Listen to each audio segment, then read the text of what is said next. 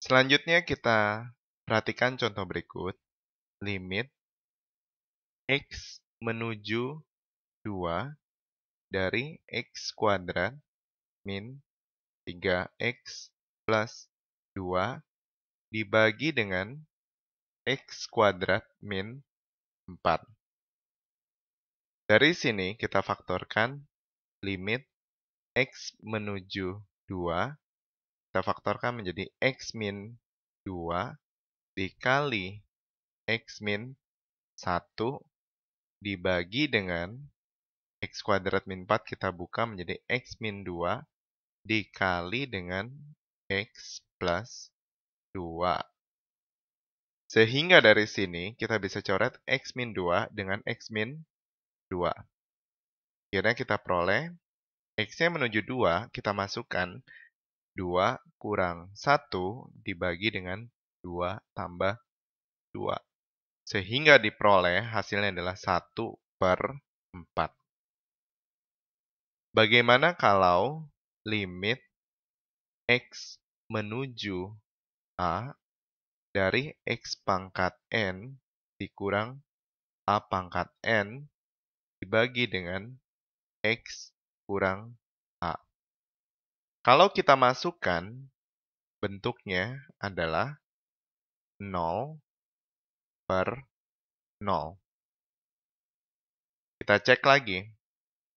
Kita ingat bahwa A pangkat N dikurangi dengan B pangkat N itu sama dengan A min B dikali dengan A pangkat N min 1 ditambah dengan A pangkat N-2 kali B ditambah sampai A kali B pangkat N-2 ditambah B pangkat N-1.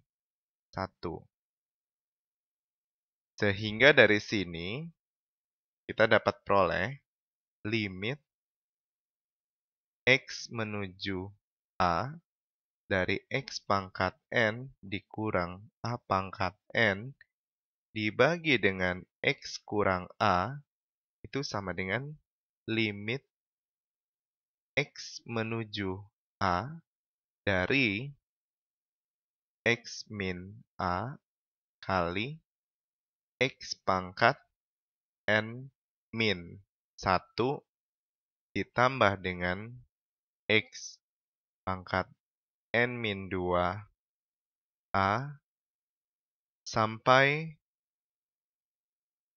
A pangkat N-1 dibagi dengan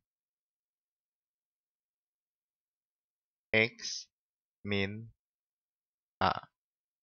Sehingga dari sini kita bisa coret semuanya X min A dengan X min A.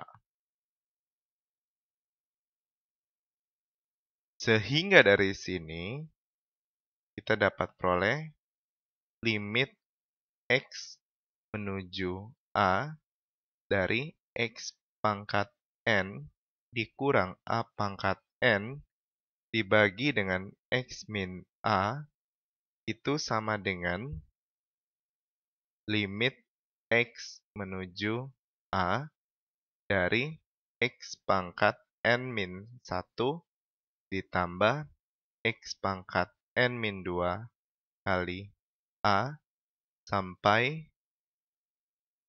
A pangkat N-1.